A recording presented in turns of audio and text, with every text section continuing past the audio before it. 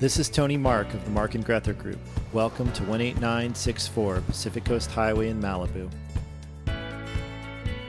So you enter the house through this lighted atrium into a big open floor plan, modern layout. Uh, state-of-the-art kitchen. There's two bedrooms and two bathrooms on this level. So let's go take a look at the kitchen.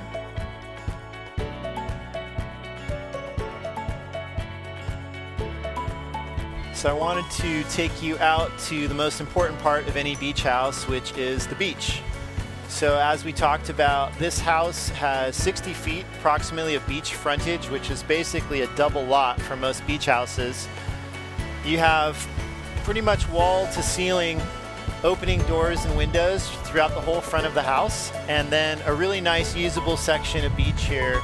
You can walk all the way down to Topanga to surf, walk north for miles, and you have each access through the side of the house that takes you down to the beach.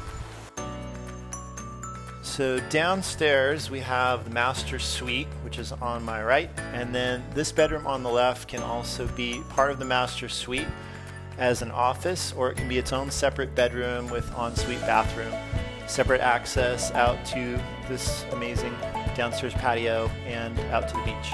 So let's go take a look at the master.